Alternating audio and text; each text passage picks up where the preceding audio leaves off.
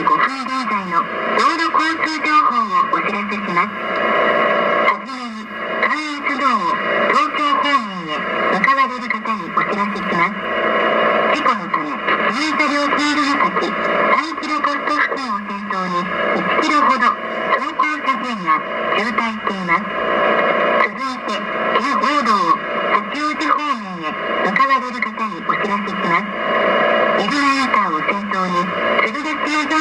で2キロほど交通休憩のため渋滞しています。